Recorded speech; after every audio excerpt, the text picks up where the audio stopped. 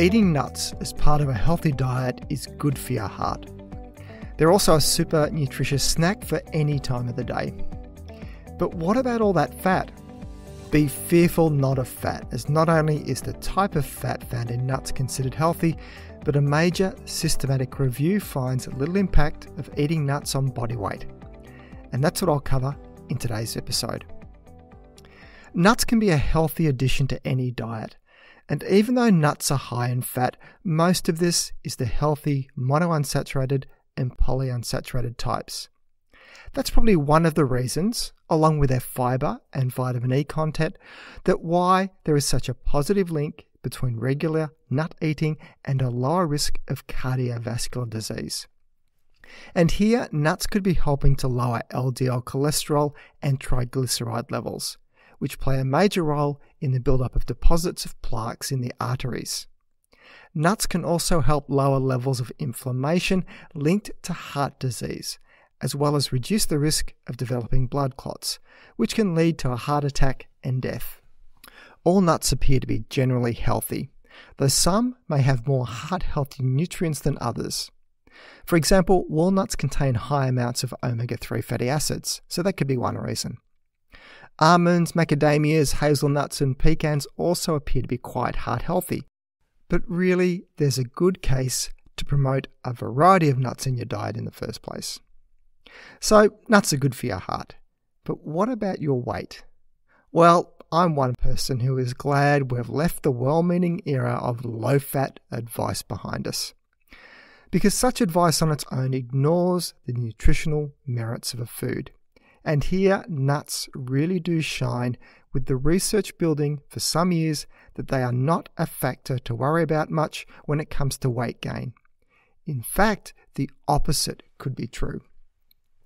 And that was the topic of a recent systematic review and meta analyses looking at nuts and body weight across both observational studies and randomized control trials. And I'll link to this review in the show notes and there was an astounding amount of research that could be examined. There were six observational studies and 86 randomized controlled trials included. You heard correctly 86 randomized controlled trials where nut consumption was the key difference between two random groups of people.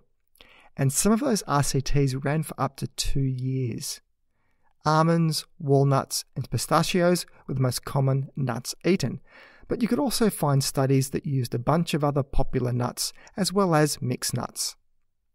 And here is all you need to know about the results. Eating nuts was linked with a lower risk of weight gain if you used just the observational research, and the evidence rating for it was considered moderate. But moving on to the more powerful randomized controlled trials, of which there were many, there was no impact of eating nuts on body weight and the evidence rating for this was considered high.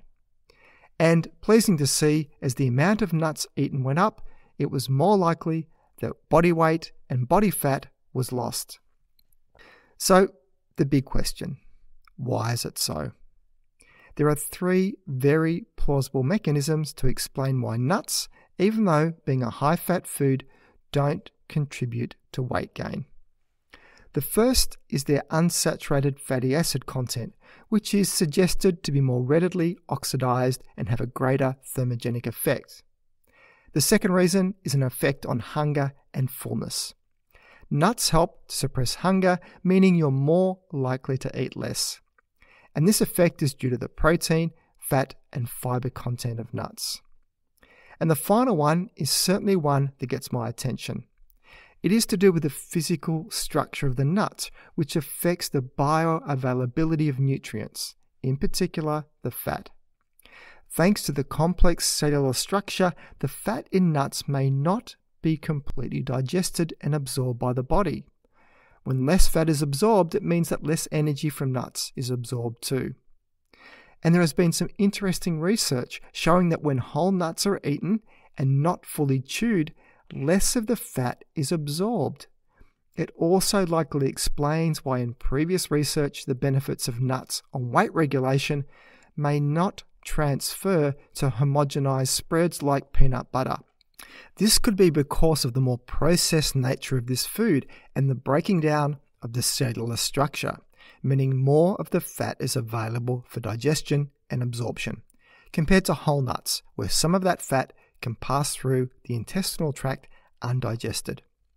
So let's wrap all this up. Snacking on nuts, especially in place of less healthy, convenient snack foods, is a simple and healthy way to prevent the slow, insidious weight gain that can happen with aging. The Australian Dietary Guidelines recommend 30 grams of nuts on most days of the week. A single handful of nuts will get you to that 30 gram serving. Too easy. So that's it for today's show. You can find the show notes either in the app you're listening to this podcast on, if it supports it, or else head over to my webpage at thinkingnutrition.com.au and click on the podcast section to find this episode to read the show notes. If you find this podcast of value, then please consider sharing it with your friends and colleagues, or maybe even leave a review. This all helps increase the ranking and reach of the podcast, which means a big win for credible, evidence based nutrition messages while helping to dilute out the crazy and making the world a slightly less confusing place. I'm Tim Crowe, and you've been listening to Thinking Nutrition.